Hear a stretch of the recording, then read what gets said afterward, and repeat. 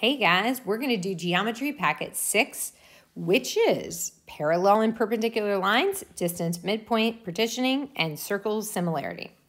All right, so let's first look at the notes we took last class. Make sure you put your name here.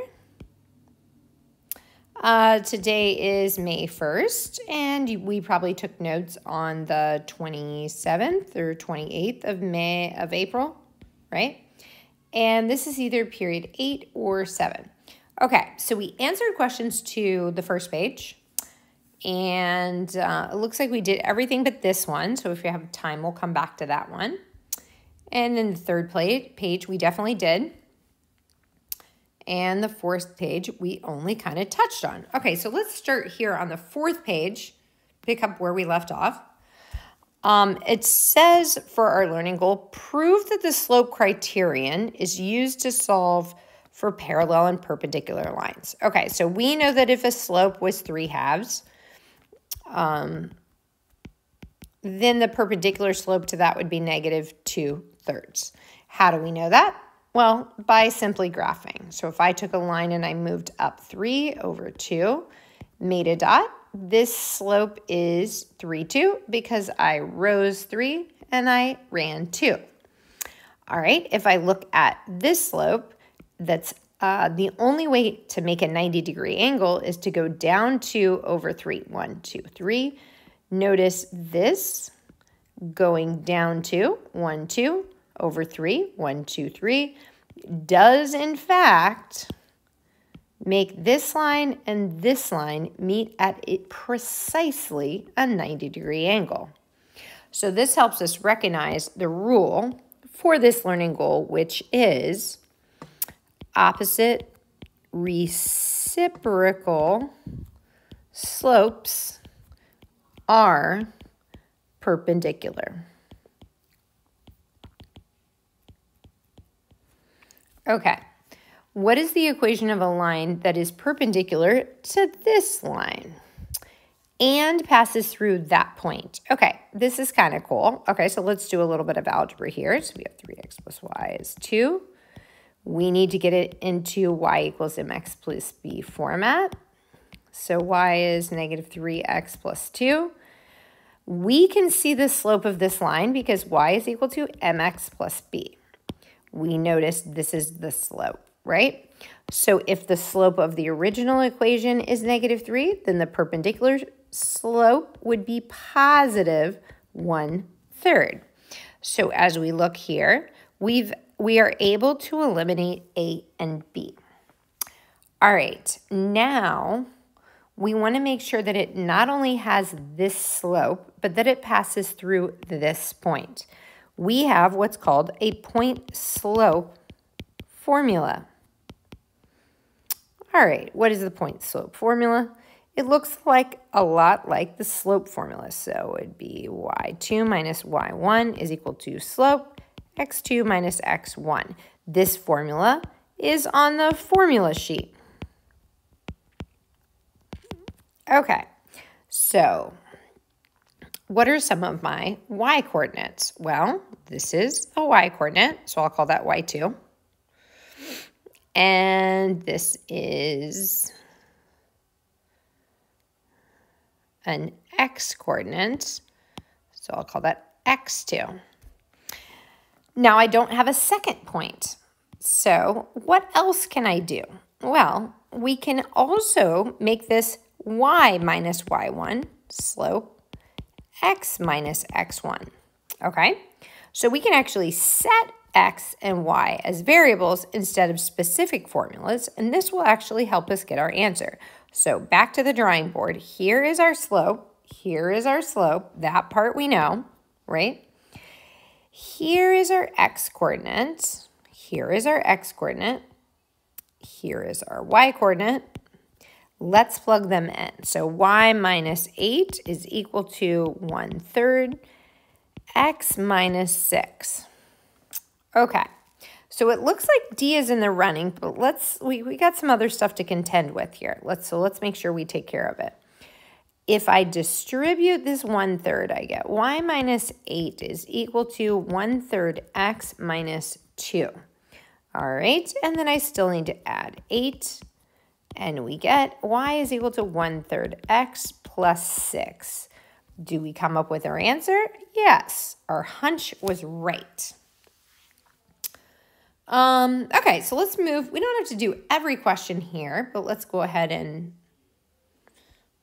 um, keep moving through here, right? Select all the equations that would be perpendicular. Okay, so again, here's my equation. y equals mx plus b. y is equal to 2 over 1x minus 8.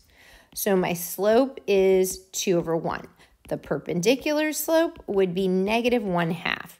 So who's negative 1 half? This one I already know. This one I already know is no, right? Because it is in y equal mx plus b format. So these choices were already in the right format. Now these other choices we have to rearrange, right? So we subtract x on both sides. We get 2x equals negative, 2y equals negative x plus 5. We divide by 2, and we get y is equal to negative 1 half x plus 5 halves. We're looking for a perpendicular slope, right, that is negative 1 half. This one does it. It is negative 1 half. Doesn't look like it, but it is. All right, let's look at the next one. Can kind of see that this one's not going to work, though. Okay, so let's look at this next one. We have 2y equals, we're going to add x to both sides, so we get x minus 3.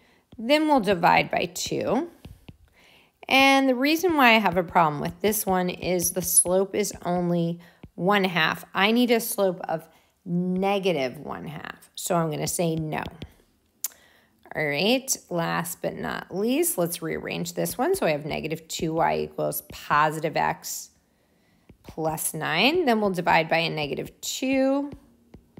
Ooh, I think maybe I like this. This would be negative 1 half for my slope. So I'm going to say yes for question number three. Nice. Okay, so a lot of algebra, just kind of putting stuff in y equal mx plus b format. Let's take a look at number five. Which of this statement is true about these two lines? So we notice neither is in slope format, therefore we can't tell the slope of either one. So let's rewrite this one. That'd be y is equal to 2x minus 8. So we notice the slope is 2. Okay, now let's take a look at this second one. We get negative 5y equals negative 3x minus 3. So when we divide by a negative 5 on each, we get y is equal to positive 3 fifths x plus 3 fifths. Okay, interesting. Interesting outcome here. We get our slope is equal to 3 fifths. Are they perpendicular? No. Are they parallel? No. Do they coincide? Maybe. The lines intersect but are not perpendicular. Mm. Okay, I thought that's what, so I'm going to put a big solid maybe there. So I'm, I'm tending toward D. Let me explain why. Let's say I took this, this, this equation, right? Starts at negative 8, so 1, 2, 3, 4, 5, 6, 7, 8, goes up 2 over 1, up 2 over 1, up 2 over 1, up 2 over 1. So something like this is this equation right here, also known as this one, and I rearranged it, okay? The next equation says y crosses it at 3 fifths. So I don't even go down 1, so not even a whole 1. And I go up 3 pieces over 5, up 3 over 5, up 3 over 5. Something like this. They definitely coincide, but they're not perpendicular. So this one, to be perpendicular to this would be negative 1 half, and that is not that. To be perpendicular to this one, you'd be negative 5 thirds, and this one's definitely not that. So they most certainly intersect, but they are not perpendicular. All right. Question number two, I think we'll call that our last one. Which equation represents a line that's parallel? So we know parallel means same slope. So we identified the slope here is 2. So we're only looking for what is 2. This has a slope of negative 2, so we're going to say no. Um, this one, ooh, I think it's C. Let's take a look. This one, we can add 2x on both sides.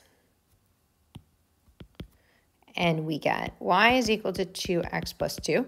Notice the slope is 2. So yeah, parallel means same slope. So what does this mean? This line was at 1 and it went up 2 over 1. So this line is graphed there, up 2 over 1. Okay? This line crosses it at 2 and it goes up 2 over 1, up 2 over 1. So this line runs immediately parallel. It just has a slightly higher y-intercept. All right, that's definitely parallel. I'm going to choose C, and I'm going to say, have a great night, guys. See you next time.